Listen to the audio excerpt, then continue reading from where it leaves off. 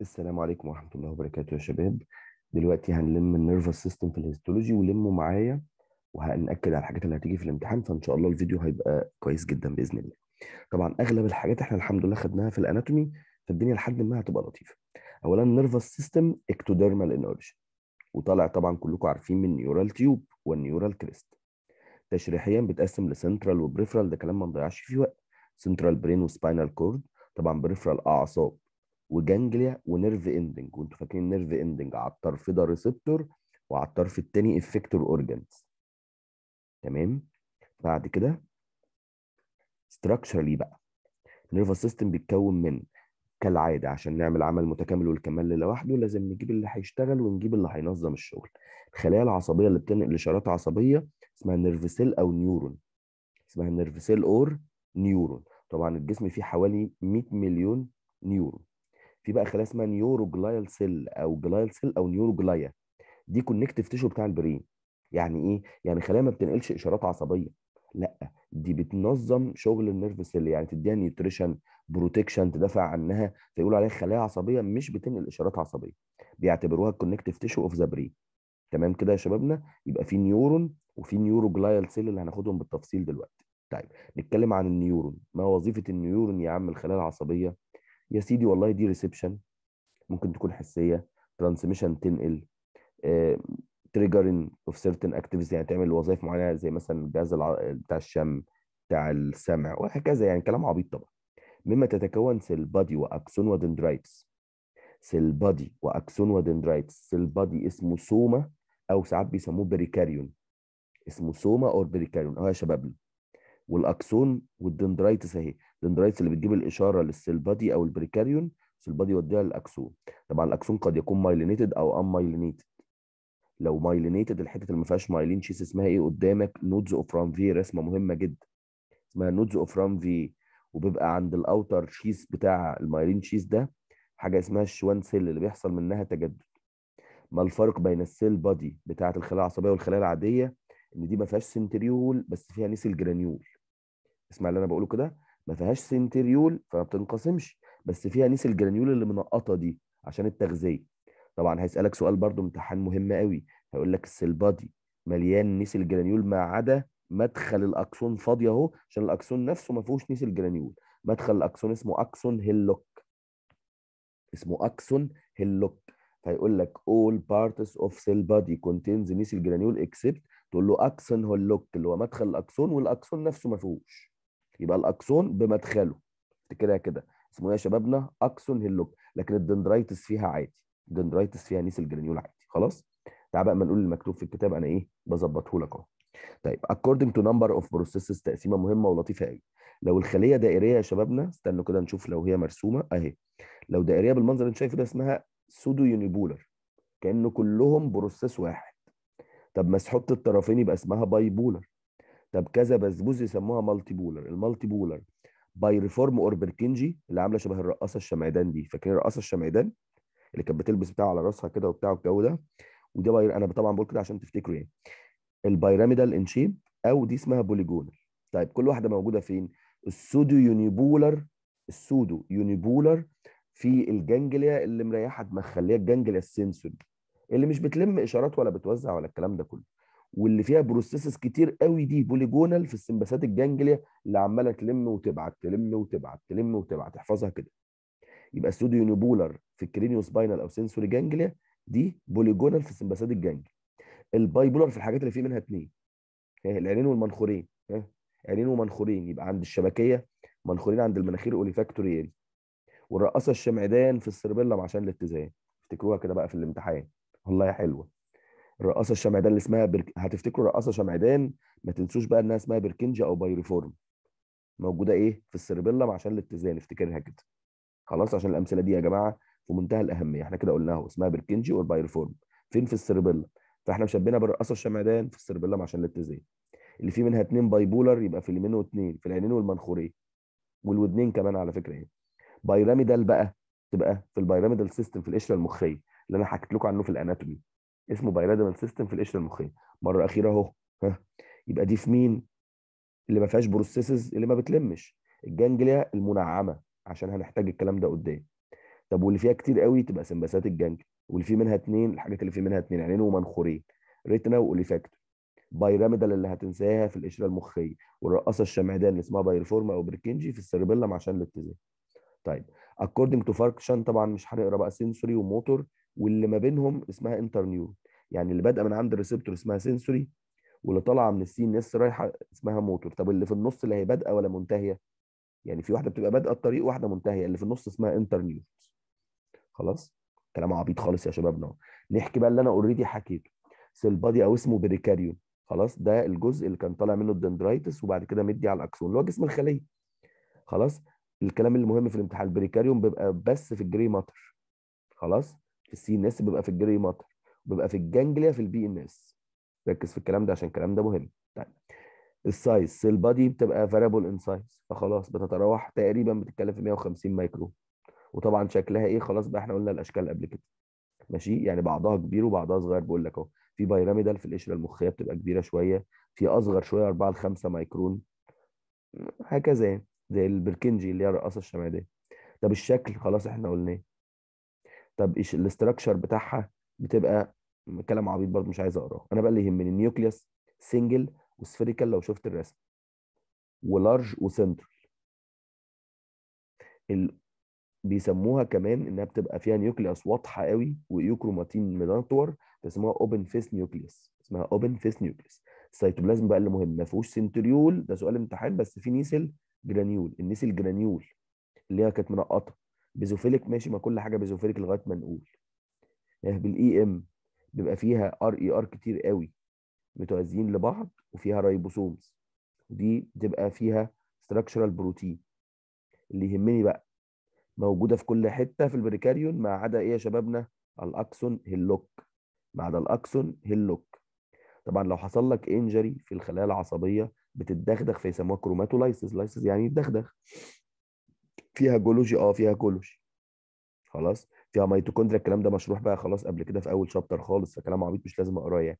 فيها ميتوكوندريا آه فيها لايسوم آه فيها microtubules زي الفل. مش عايز الكلام اللي جنبهم ده يا جماعة كبر دماغك يعني. أنت عارفه من من قدام أصلا. ال neurofilament neurofilament كانت مذكورة برده في ال epithelial stained with silver مفيش centrosome ولا centriole. أهي دي بقى اللي أنا بسألك عليها يعني.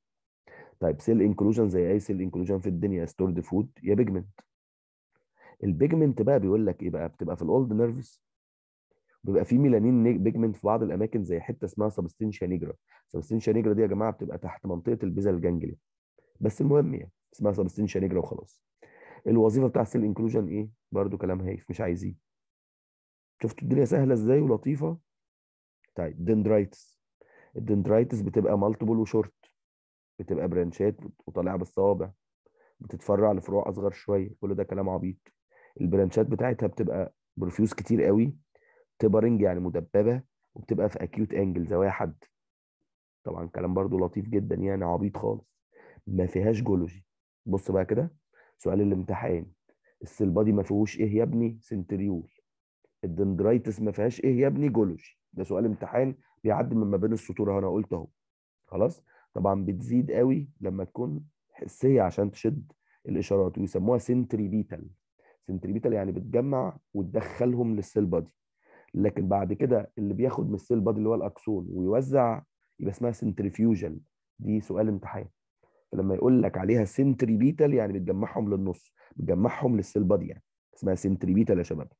تمام؟ اللي بعد كده بقى ال axon. كلام سهل أهو. ال axon بادئ من ال perikaryon من حتة conical اسمها axon hillock اللي ما فيهاش Nissl granule وقلنا الكلام ده. بيبقى دايما axon واحد و long و slender. بيبقى doesn't branch ما عدا في نهايته خالص branchات تحت خالص. تمام؟ طبعا لو ادى branch ات بتبقى right angle مش زي فوق ال dendrites كانت acute angle ال plasma membrane بتاعه بيسموها axolemma والسيتوبلازم اسمه axoplasm مليان SER كتير. ما فيهوش RER يلا ها جمع. ما فيهوش RER ولا ريبوسوم ولا Nissl granule ولا Golgi apparatus ركز بقى في الكلام ده اهو. الراجل ده ما فيهوش حاجات كتير قوي وسموه centrifugal يبقى دلوقتي ال dendrites ما فيهاش جولوجي بس لكن ال axon ما فيهوش كل ده. طب ال cell body ما فيهوش centriole. وضحت؟ طيب. nerve fiber بقى يا سيدي. اولا ال nerve عبارة عن مجموعة axon ات بيبقوا ectodermal in origin بيبقى لهم اتنين sheath neurolemmal sheath و myelin sheath. ال neurolemmal sheath ده اللي بيبقى تحته ال Schwann cell. بيبقى تحته ال Schwann cell اللي مسؤول عن التجدد. أهو formation of myelin sheath هو اللي بيصنع ال myelin sheath ومهم في ال regeneration عشان ال Schwann cell. ويعمل phagocytosis لأي بقايا متبقية. شفتوا الكلام يا شبابنا؟ طب ال myelin sheath أنت عارف إن هو عازل وبينقل إشارة بسرعة. بيبقى interrupted في بعض الأماكن. الأماكن ال interrupted اسمها nodes of Ranvier مين اللي صنعه أصلا؟ ال outer neurolemmal sheath اللي فوقه ده. وظيفته إيه يا عمي؟ بيسرع الإشارة ويوفر في الوقت والجهد ويعمل كعازل. أظن كل الكلام ده عبيط قوي يا شبابنا إن شاء الله. طيب. مجموعة من ال nerves بقى لما يبقوا مع بعض نعمل إيه بقى في القصة دي؟ نقول عليها إيه؟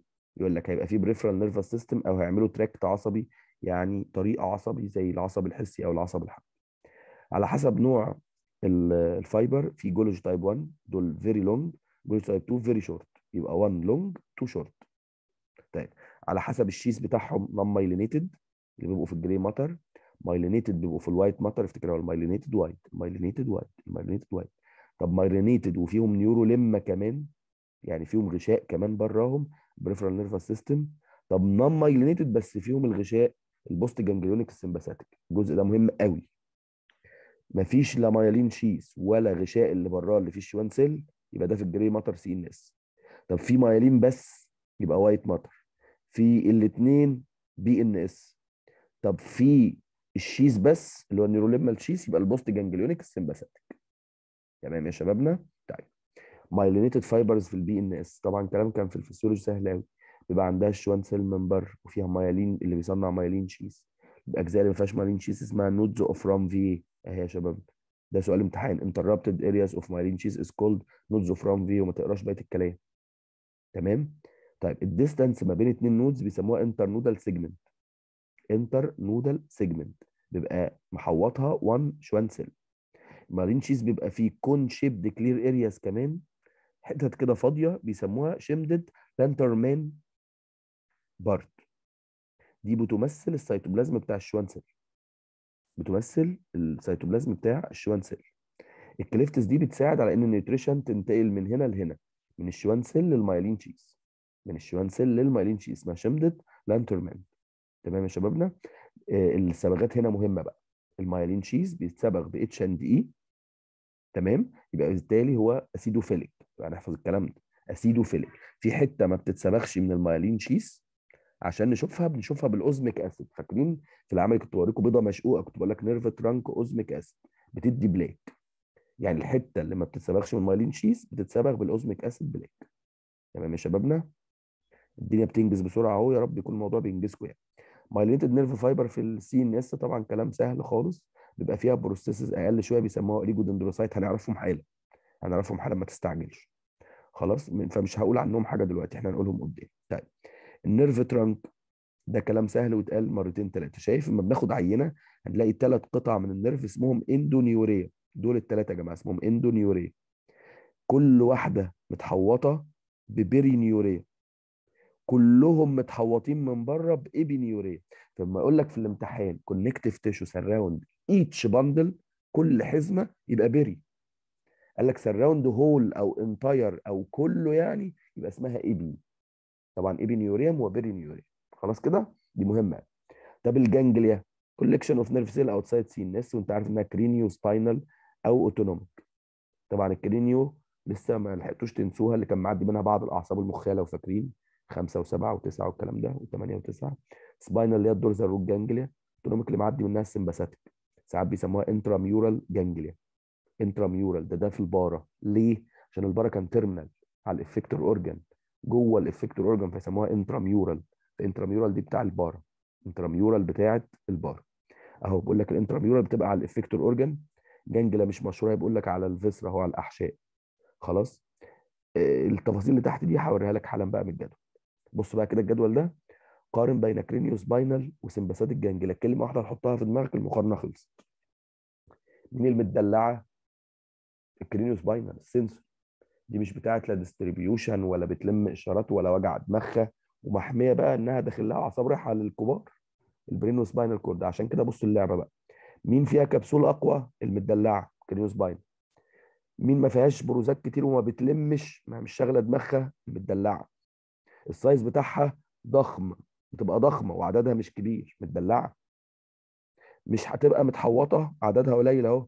مش هيبقى معاها هيبقى معاها satellite cell كتير قوي ما هي متدلعة. العصب بتاعها myelinated ما هي متدلعة. مش محتاجة ترتبط بحد تاني وتعمل synapses هي أصلا ما بتلمش إشارات ولا بتعمل وجع دماغ وهناك العكس.